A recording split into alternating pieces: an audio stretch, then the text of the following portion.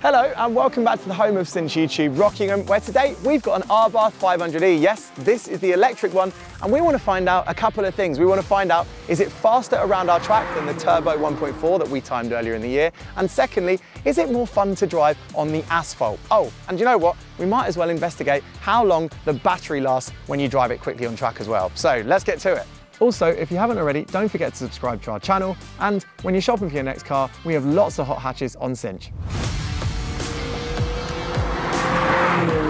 All right, yes, this is an Abarth 500e. That cost, with the yellow paint spec on it, £38,795. So before you all jump to the comments and say, oh, you can get an MG4 XPower for less and it's got more power. Yeah, I know, and I agree. And we will be timing one of those at our track very soon. But it doesn't matter in the world of Abarth because these things have always been true when it comes to Abarth hatchbacks, certainly since the 500 and the 595 were on sale, because as we know, they were always more expensive than their size and performance would suggest. You could get a Fiesta ST, for example, with more power, more performance, and better handling, to be frank. But the Abarth recipe has always been about fun, and I don't think anyone can deny that this thing here does look a little bit like it's been crafted specifically to be fun.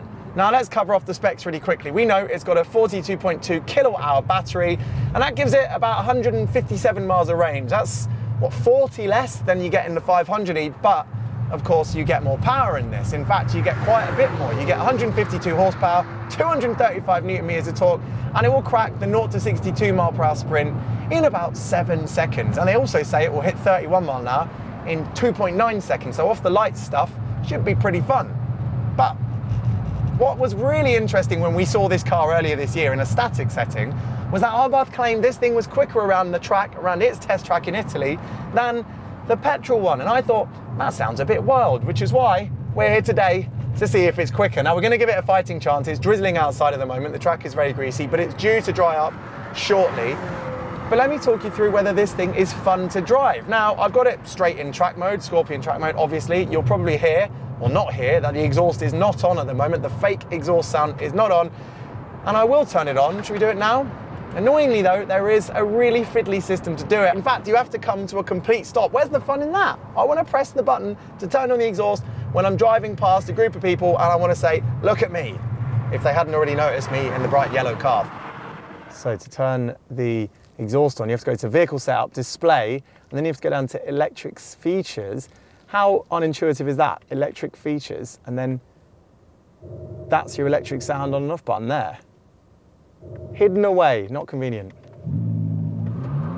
Oh, Wheel spin and it makes noises in tandem. But, oh, here's one thing I've noticed straight away. We don't have any gears in this car. The petrol car has five gears, so you get a bit of a power, revs drop, power, revs drop. This thing is just, well, listen. Just meh. It doesn't actually sound that bad and it's quite loud outside, which makes it especially fun, if not especially silly. But yeah, I don't know how much fun you're really gonna have with this kind of sound. I guess it sounds like a go-kart, you might say, a go-kart with a sort of a weird tone. Enough of that though, let's talk about the handling. Now, I've got the systems on still, I've still got stability on, good turning, good grip on the front. The car does feel like it's rolling a little bit, but that was also true for the non higher performance versions of the 500 petrol car, the 595. But then actually it feels quite stiff over the curbs, which is good because it means it kind of just settles over them quite quickly. It just sort of hips over them. Oh my God. Do you know what though? The curbs are not slippery with this torque, 235 newton meters, but that's obviously delivered immediately on a very flat way as well, not like you would having the petrol car. So as soon as I put a wheel on the wet curb, you really do feel it, well, struggle to put the power down. There again, let's turn off the systems because that's the same thing to do when I've just been talking about how little grip there is out here. Right, ESC off. Does it slide around? Here we go. Put your foot down, come off the power, turn in. Oh, and it does a bit of, actually it felt a lot more stable. It does do lift off oversteer, but there's quite a bit of roll. Brake, turn. Yeah, definitely wants to point its way in, but I can still feel something pinching a brake at a rear, trying to stop me from sliding. Decent traction. This is a really slippy corner in these conditions, and it put the power down remarkably well. Pretty quick down the straight. not rapid, not surprising. Turns in lovely, four-wheel drift on the power, traction's good. All the basics are there for this to actually be quite an enjoyable car to drive. I imagine when it's dried out a bit later, when we do our time, that's going to be really, really effective. And actually, Abarth's promise of this thing being quicker than a petrol car doesn't feel that impossible.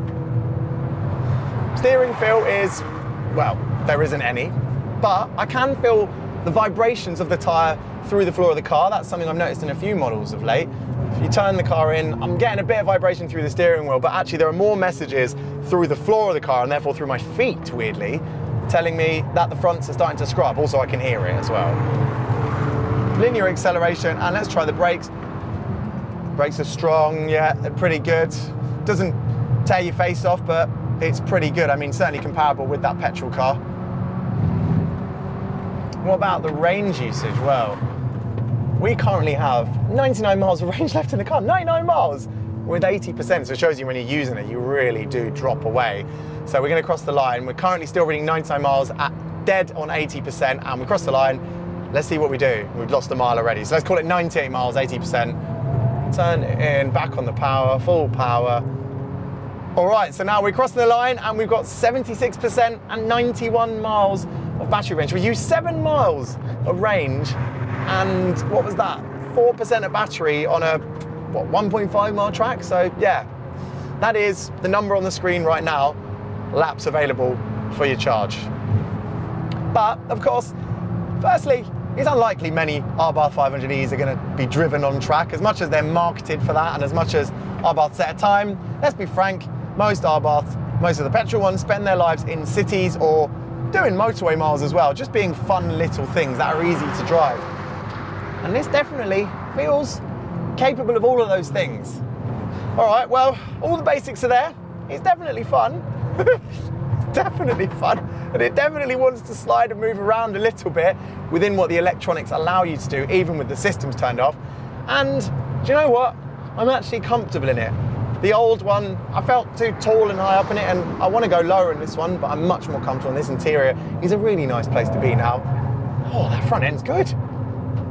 I think this car is going to be an excellent car to live with on the road, but is it faster than the petrol one on track? Let's find out.